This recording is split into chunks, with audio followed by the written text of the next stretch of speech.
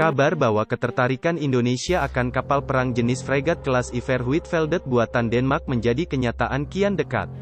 Apalagi terbetik berita bahwa proses kontraktual yang melibatkan PT PAL di Surabaya tengah berlangsung. Fregat kelas Iver Huitfeldt ini terutama dimaksudkan untuk pertama kalinya bagi Angkatan Laut Denmark. Fregat ini dilengkapi rudal jelajah BGM-109 Tomahawk. Menurut Defensiklopedia kelas Iver Huitfeldt adalah fregat paling sukses keempat di dunia di awal abad ke-21.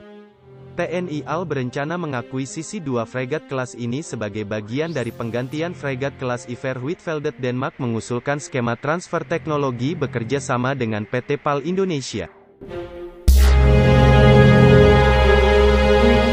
Fregat Iver Huitfeldt dengan kelas mencapai 6.645 ton, dengan radar yang mampu menyapu area sejauh 400 km.